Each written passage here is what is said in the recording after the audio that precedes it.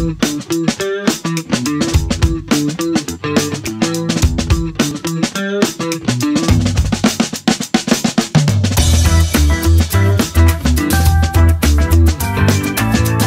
guest today is Allison Hartnett. Allison, how are you today? Great. How about you, David? I'm doing fantastic. What do you do, Allison? So, I work for the Microsoft Philanthropies TEALS program, which brings equitable computer science to high schools. TEALS program to uh, computer science to high schools. What um, is it? All high schools? Is it some high schools? What's what's going on there? So we're in about 500 high schools within the United States and British Columbia, Canada. We're also in four high schools in Juarez, Mexico. Um, hmm. But our goal is to um, pair passionate volunteers in the tech industry who want to help bridge the divide in computer science, and they'll um, team teach computer science in a particular classroom throughout an academic year. What do you mean when you say divide in computer science? Well, that's a great question. So, you know, when we think about um, the tech industry, we know that it doesn't meet parity within the demographics of the United States, if we're just looking there. And it's the same thing, you know, when we look in the K 12 space and we look at how, what, what kids are getting in terms of computer science. And, and one of the things that I think, you know, is really passionate for me is that, um, when you look at uh, um, the, the, the numbers, a kid who has had a computer science course in high school is six to eight times more likely to major in college. And so, really having that foundation truly makes a difference. And so, what we want to do is we want to give kids the opportunity to be exposed to computer science, and, and not only you know um, within the lower grades, and I think that that's really important also for generating that interest, but also within that high school space. And we focus specifically on the high school space. Well, our kids not being exposed to it now? You know, some are, but when you look at the numbers, you know, a, a, a, little over 50% of high schools actually even offer computer science. And when you actually break down those demographics, the kids who are actually um, enrolled in those classes tend to be white suburban males. And so when you look at the country, the country is not composed of white suburban males, although they're a wonderful demographic. But thank you for acknowledging my demographic. your, your, your, your heritage, right?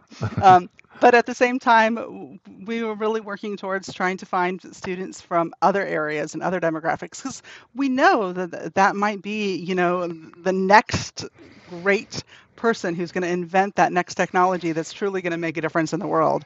And when we have more voices, that makes a difference. So that, make, that makes sense. So there's the inner city kids that aren't, they're not even aware that computer science is a field because they're not seeing it as they're growing up and going through their K 12 education. Right. In, in fact, you know, most inner city kids, the, the first college educated person they meet is their teacher, and that pretty much stays that way entirely through K 12. And so, uh, you know, um, I, ideally exposing students to, to more college, edu- you know, more professions besides mm-hmm. those in their neighborhood is always a great thing. And so bringing those volunteers into the classroom is something that we're incredibly passionate about. Um, in addition, the other area that we always focus on is those rural areas where, again, you know, down the street, you're not going to have necessarily have a computer science professional, um, mm. but it's still just as important to learn computer science. What specifically is your team doing to address this? Great. So I um, specifically work. I'm based out of Kansas City, and my focus is mostly on Chicago and St. Louis and Kansas City, and, Great really. Cities great cities. And really, my, my strong focus is in Chicago. We just launched TEALS in Chicago this year. We, we're in seven schools, six of them was in the Chicago public schools, but they're all in, in the west and south side. Um, majority of Black or African American or Hispanic.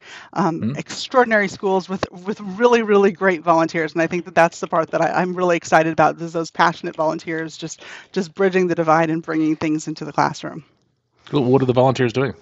So the, great that you asked. I mean, you know, it really depends. So, like um, one of my schools, at the very top of the year, our volunteers split up the li- the class roster list, and they called every single parent to introduce themselves and to ask them how they're doing and what they can do to help. And more specifically, they invited them to an open house that was happening, oh, you know, like October-ish, to come in and see what their child is doing in computer science. And so it gave it a little bit of time for that ramp up, but at the same time, they had an opportunity to come and see all the great things that their kids are doing. Um, in another school, one of our volunteers um, has a gaming background, and um, the school has a um, game uh, like an esports center. So he's been working really hard to, to really build up that esports center and, and um, create the 3D printer, and then actually kind of really connect that to what they're learning in class, which I think is just extraordinary when you're when That's you're thinking cool. about kind of what our volunteers do. Very cool. Are these volunteers are they Microsoft folks or are they just folks from the community? There are folks in the community. Microsoft tends to be our number one source of volunteers because we are a. Microsoft philanthropy, which means that we're sponsored by Microsoft. Um, but at the same time, we have volunteers from all over the tech industry. And one of the things I really love is that it really is, um, you know, a, a community event. That you know, the tech industry is so great when the when they say that there's a need to kind of step up and say, hey, what can I do to help?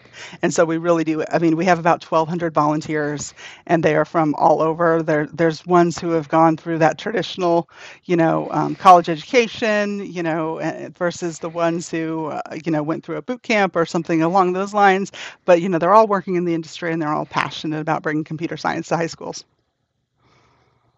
Uh, interesting. What, uh, what you said that um, there's I can't remember if it was on camera or off camera that there are a lot of high schools that are not even offering computer science classes. Mhm. Is that something that you can address? It is. I mean, you know, um, it's it's a little bit less than like 50% that are offering it. The numbers Wow. just came out from code.org, and I haven't memorized them all, but it, it depends on where you are regionally. But in general, most um, high schools aren't offering computer science, and they're not offering it as a required course either, which is something that we really like to see, um, if nothing else, so that you just have that broad-based introduction. Technology is just going to be part of our world. And, you know, it, it is so now, and it, you know, having those that computational knowledge is so important now and in the future, and just offering that is something that we really are passionate about. Yeah, I think uh, even if you're not going to be a computer scientist as a career, just having that base knowledge is helpful. Uh, just understanding things like the concept of what is machine learning. How, how can these people read all these documents in two days? That's no human Mhm. being can do that. Well, we own computers, and computers have a thing, and they can do that. And just that, as a society, we benefit from an educated Right. populace. And and I mean, you know, think about like, you know, when we're talking about like polling and we're talking about extrapolating data, all of that information is it's incredibly important to have that knowledge. And as we use computers more often and more often to, to actually do our voting, it would be really helpful to know kind of how those computers are programmed and who's programming them. And there's So- a lot of misinformation out there. I'm sorry to be the one to tell you that. I know. I know. But if you have those those skills where you can parse it apart or you can ta- or you can talk about, you know, where technology is with what what's on your cell phone and what people are tracking on your cell phone. Yeah. Um, what else? What else is your team doing? So um, we're part of Equitable Computer Science, and so in addition to the TEALS program, which is really you know the majority of what we do, we also work on collaborating with um, some of our grant partners that also are working to bring equitable computer science into to the K-12 space, like Code.org or Computer Science Teachers Association. Those sort of organizations, kind of you know across the board, you know we're working on managing those relationships and and helping them scale their products or you know scale their services. Are they? Um, so you say grant partners? Are they donating money as well? we donate mo- like yeah we as in microsoft will donate money to them and so kind of managing that a little bit oh, I um, see. We're the grantors. Then they're we're the grantee. grant. Got it. Okay. And Right. then they're they're providing services to the schools. they're providing school services to the schools or like i mean so code.org um, the the one thing that you might have heard from code.org is hour of code Yeah, I, Which I is- participated that a couple times. Yeah um, which is for those who don't know is for, during computer science education week which is usually around the birthday of grace hopper so um, when is and Grace's yeah, birthday? I have to get her something. I, I want to say december 9th gonna- but don't quote me on that. I'm gonna bing it right now. please do Grace let's see if i'm correct Hopper birthday is December 9th. Is that what you said? That's what I said. You win a See, prize. it's recorded. uh, so around that week, the idea is that every kid all around the world should do one hour of code. And so if you go to hourofcode.org, there are tons of easy to use exercise, you know, easy Yeah. to use things that you can plug into a classroom. Um, you know, some of our partners like Minecraft will have ones that they come out with every year that are really fun. Um, Yeah. you, you know, definitely, you know, if you have a kid in your life, spending some time exploring that with them or finding a, a school where, you know, hey, can I help make sure that this happens is a thing that I highly recommend that you do. That's really cool. A couple times that I did it, uh, I remember one time I went to a high school here in Chicago. Another time I went to a library, and the kids were like six years old. And I found things on, uh, uh, might have been hourcode.com, to exercise yeah. they could do. They didn't even have to, to be able to write words. They could no. drag and drop icons. It, yeah, it, um, it really is anywhere from like preschool to high school, and they have everything in between, which is really always fun to watch. So. Uh, how do people get involved with your organization? How do they volunteer? Excellent question. You go to Microsoft.com forward slash Teals. And it, um, when you're there, you can find out all the information. There's a contact us um, little tab on there, and you can find out more information about us, get a hold of, you know, either myself or uh, one of my colleagues. Um, and then also, um, it's not live now, but in the spring, our application for volunteers usually opens in February.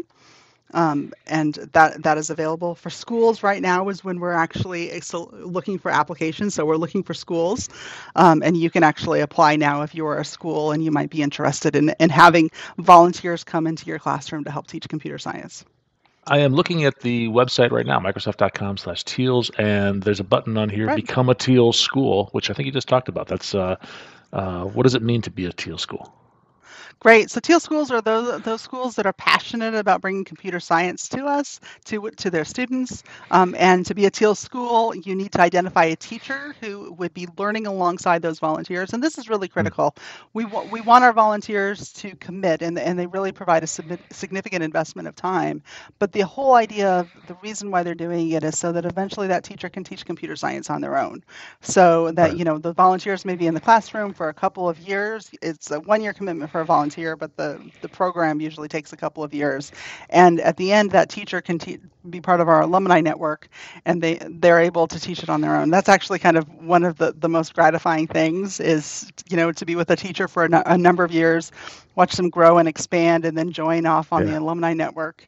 Um, the sad thing is, is of course, oftentimes their volunteers go with them because they've been with that teacher for a number of years. They've loved and adored those kids, and so they're, you know, they they join often as the alumni volunteers also. But wow, I see. Uh, Allison, how long have you been with this organization?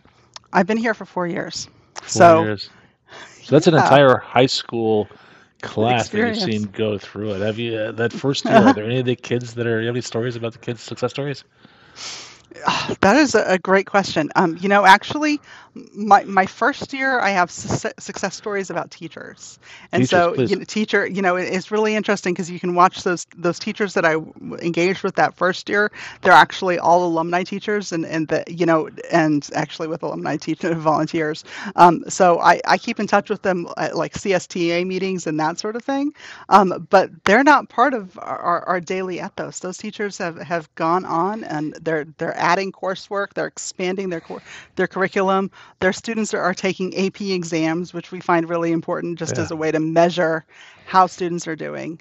Um, and so I, I, watch, I get to watch the teachers grow. I don't actually get to spend a lot of time getting to know the students because for privacy reasons, we don't spend tons of time in those classrooms. I see. So, yeah. Uh, is there anything we haven't talked about that we should have?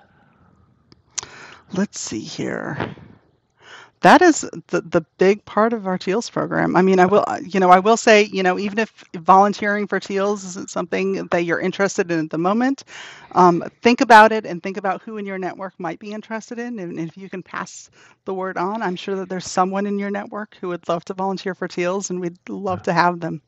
There's always a there's always a need uh, I can attest to that. I haven't worked with your organization, but I've done a lot of volunteering for the high school kids here in Chicago, and it is really gratifying. I, I get a lot more out of it than I give. Absolutely. That's exactly what our volunteers say, is that they just really enjoy the impact that they're making. Yeah. Uh, now I have Microsoft.com slash Teals. Is that the best place to go for more information? And are there other places? No, that, that is the best place. That is that is our hub. We have all of our information there. Excellent. You can always follow us on social media. We're at, Teals Program, all one word. At Teals Program. I'm gonna I'm gonna follow you today. Excellent. Allison, thank you so much for your time. This has been really interesting. Thank you so much, David.